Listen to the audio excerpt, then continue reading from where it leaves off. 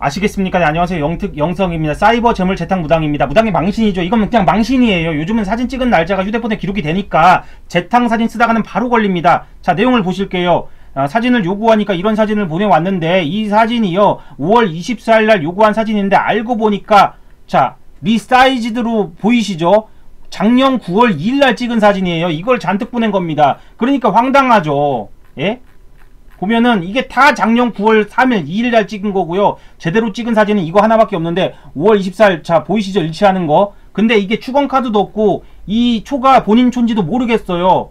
중요한 문제는 이거에 대해서 항의를 했더니 무당이 대하는 태도입니다. 뭐라고 하는지 아십니까? 미안하다고 해도 모질할 판에 자 무단으로 명예훼손 시 법적 조침을 가함을 알려드립니다. 영업방해와 명예훼손으로 같이요. 자 이렇게 고소를 좋아하는 무당들은 대부분 이렇게 불량이나 사기성 무당이 많았다고 보면 되겠습니다. 아시겠습니까?